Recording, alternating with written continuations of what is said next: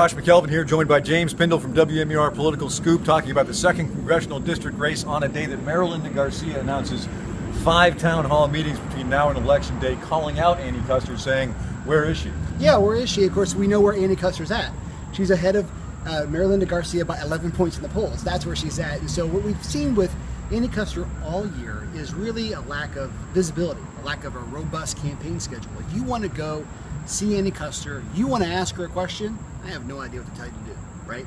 Uh, and really, that's been a consistent pattern with a number of member, members of Congress. Carol Shea Porter in the first congressional district did the same thing. Frank Guinta, her opponent, I know we went up with the second congressional district, but her opponent, Frank Guinta, when he was running in the primary, again, basically a non-existent campaign, trying to ride over it.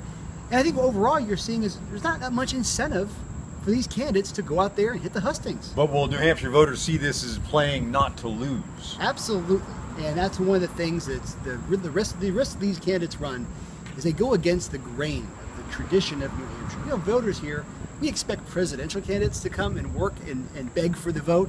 Talk about a member of Congress. I mean, you, you gotta you gotta campaign for it. At least you need to have the perception that you are out there working for it. If Mitt Romney can, Barack Obama can, come on, Annie Kuster. come on, Carol Porter, come on, Frank Guinta. I mean, so it's been something of the theme. But on this day, Republican uh, Marilinda Garcia throwing down the gauntlet. Question is, will we see Annie Kuster answer it? Stay tuned.